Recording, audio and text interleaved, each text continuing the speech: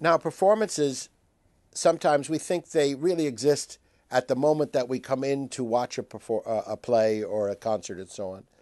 And here I'm going to use the aesthetic genres as my primary example, but then I'm going to try to help you understand it in relationship to a social drama or a social performance as well. So there are three basic uh, phases there's what happens before the performance, there's what happens during the performance, there's what happens after the performance. Now, these can be mapped onto Turner, Turner's, uh, you know, uh, uh, separation, liminal phase or liminoid phase, and reintegration. They can also be mapped onto Aristotle's famous beginning, middle, and end. But for me, what happens uh, uh, before the performance is like training and workshop and rehearsals. So, training is where you acquire the basic skills, the basic toolkit that you're going to use that really is already known. Training is where you take things that are already known, that are given to you by a master teacher, and you make them part of your body. Workshop is that phase where you take the training and you also devise new stuff where you can explore. Workshop is a place to take things apart, to go further into what you want, and to develop a particular toolkit that you might use for a particular kind of performance. So training is more generalized. We can all get vocal training, we can get body training, we can do kung fu, etc., etc. But then when we go into workshop, we may want to see how does kung fu and opera singing work together? How can we play with them together? How can we uh, find new things to do? Then rehearsals are the taking of these two toolkits, that which we've acquired in training and that which we've invented or devised through workshop, and applying them to a specific problem, the staging of a specific set of behaviors, the staging of a specific text, the staging of a specific space or occasion, because all of these things can be the core starting place of a performance. So, rehearsal is where we move uh, from a large range of possibilities to exactly what we're going to show to a public.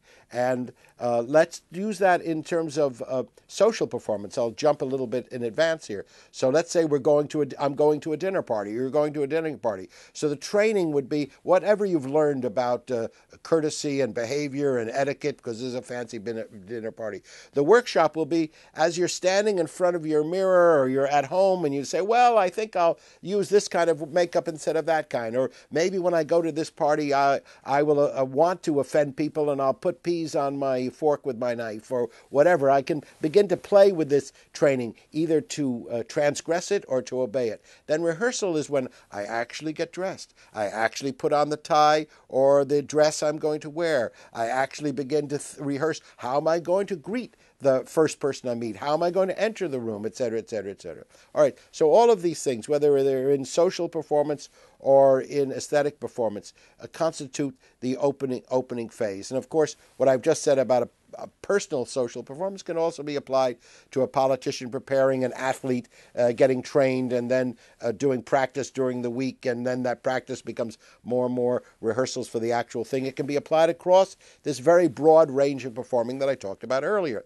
Then act, the actual moment of performance also consists of three phases. Warm up, the actual doing, and cool down. We all know that before we go onto a stage, before we enter a party, before we enter a playing field, we do some kind of warm up. Sometimes it's physical, sometimes it's me- uh, psychophysical, sometimes it's just mental, but we prepare. We cross the line, a temporal line, an actual line, into the field and time of performance. And then we're in a different world. If it's working for us properly, it flows. If my performance for you right now is working for me, I'm not aware of the time. I'm not aware of the people in the room here with me. I'm not aware of the camera so much. I'm I'm just in the flow of it. That's what good performing is. It kind of it annihilates time for the time of the performance. The spectator, you know, you don't want a spectator looking at her watch. That means that the spectator is not in the flow with you. We want that to be annihilated. And then we finish. And when we finish, uh, we take a bow and people applaud or what have you. We have a way of cooling down. We go to the dressing room, we take off our costumes, or we wash our face, we have a glass of water. We do something to reintegrate ourselves into ordinary life. You see how this is parallel to the ritual process, the separation, the actual liminal phase, and then the reintegration, except in this aesthetic way or sportive way, we're all transporters. We're not really transformed. If we get transformed by the performance, if we play the role so often that we become the role, that it becomes something else again. It's said that Bela Lugosi, who was a great actor, but he had a Romanian accent, he played Dracula, and he played Dracula, and was forced to play Dracula so often that he became the role of Dracula. He never uh, bit people in their necks, I don't think. I don't know, maybe. You can never tell. But he was absorbed into that role. It kind of dro- drove him crazy.